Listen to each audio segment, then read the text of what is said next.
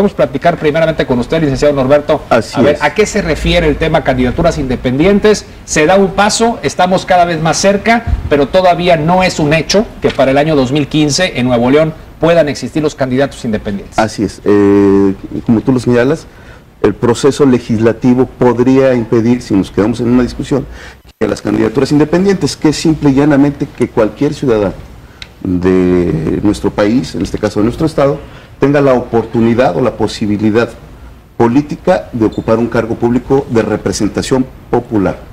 Es un proceso que ha llevado tiempo en una modificación a, una ley, a las leyes secundarias y que desafortunadamente en el 2007 sufrió una reforma constitucional que no existía para dar la exclusividad a los partidos políticos en, eh, a nivel local, eh, una reforma del artículo 116, fracción cuarta, inciso de ahí se, se puso esto, que ponía o que permitía de hecho la partidocracia eliminando la democracia en- constitucionalmente, que era un graso error a nivel local. Entonces, con estos nuevos cambios del 2012, el mismo Felipe Calderón enmienda su error y se empieza la reforma del 35 y del 116, que es reciente, ahora eh, se concluye en el sexenio de, de el presidente Peña Nieto A nivel nacional. a nivel, a nivel nacional y que se ve más que por una voluntad democrática, se ve forzada por la reforma al artículo primero constitucional, que en lugar de hablar de garantías individuales, habla de derechos humanos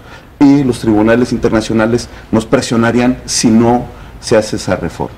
Entonces, de manera que se da primero a nivel nacional y lo que se ha vivido, lo que se ha discutido en fechas recientes aquí en el Congreso del Estado es para tratar de que Nuevo León cumpla con esas disposiciones federales. Así es, el- el- eh, los diputados locales han postergado innecesariamente esta decisión. Muy bien, a ver, de este lado de la mesa, doctor. Bueno, además este proceso eh, se desencadena porque en, el- en la elección federal de, del 2006 irrumpen dos personajes eh, buscando ser reconocidos como candidatos sin partido, Jorge Castañeda y Víctor González Torres. Jorge Castañeda, eh, eh, al ser rechazada su solicitud de registro como candidato a la presidencia de la República, inicia un proceso eh, recurre a la Corte, pero nuestras disposiciones eh, constitucionales señalan que la Corte no conocerá de los asuntos electorales y bueno, eso le da la pauta para llegar a los organismos internacionales. Y es eh, en este lapso sí se da esta reforma constitucional este, eh, regresiva donde se establece la, esta, eh, bien lo señala licenciado, esta partidocracia pero en la resolución de la Corte en el año 2008 de la Corte Interamericana de Derechos Humanos es que pues México debe adecuar sus disposiciones constitucionales para darle viabilidad a las candidaturas de los ciudadanos, porque es efectivamente un derecho, un derecho político que puede ejercerse individualmente. Entonces ha sido una historia de pasos para adelante y pasos para atrás. Y sí, pues es- eh, como bien lo dices, eh, lo que está pasando en Nuevo León y que está pasando en otros estados de la República es precisamente pues ser eh, consecuentes y dar cumplimiento a este mandato de, de este organismo internacional. Sin embargo, pues es, así como dicen, el, diablo está en los detalles. Este, habrá que ver eh, cuál, es, cuál es la ruta que se ha seguido. Hay otras experiencias, hay otras entidades que ya han culminado sus procesos eh, para dar viabilidad a estas candidaturas, pero también los ejercicios pues a veces nos podrán dejar insatisfechos. Pero creo que el debate es importante porque pues además de romper el monopolio de los partidos políticos, tendría implicaciones de otra naturaleza en la, en la representación. Gracias, doctora Lourdes López. Liliana Flores Benavides, a ver, un comentario. Bueno, yo de entrada quiero hacer, o sea, lo que está pasando en torno a estas candidaturas y las modificaciones de carácter legislativo son el esfuerzo de muchos ciudadanos, de organizaciones sociales, que durante muchísimos años hemos venido exigiendo que se cumpla que todo ciudadano mexicano tiene derecho a votar y a ser votado. El asegún fue que ponían que nada más podían ser votados aquellos que fueran propuestos por partidos. Entonces allá acotaban un derecho constitucional. Y luego sucede absolutamente lo que eh, la doctora ha venido diciendo. También fue la candidatura de Manuel Cloutier en las últimas elecciones, que también impugnó. Y bueno, todo esto es un esfuerzo ciudad- ciudadano para romper con la partidocracia. Hoy los legisladores en los estados de la República se están levantando el cuello diciendo que ellos son congresos de avanzada que están eh, este, facilitando este asunto, Pero en realidad en los estados lo único que están haciendo es su obligación constitucional de homologar las leyes estatales a las leyes federales en un plazo no menor, no mayor de un año. O sea que lo que se modifique a nivel federal, en cualquier ley, en todos los congresos tiene que modificarse en el transcurso de un año. Entonces lo único que están haciendo es eso.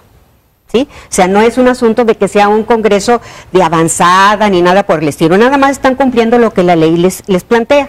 Posteriormente vamos a ver el asunto de cómo se aterriza y de qué tan alto van a subir la canasta.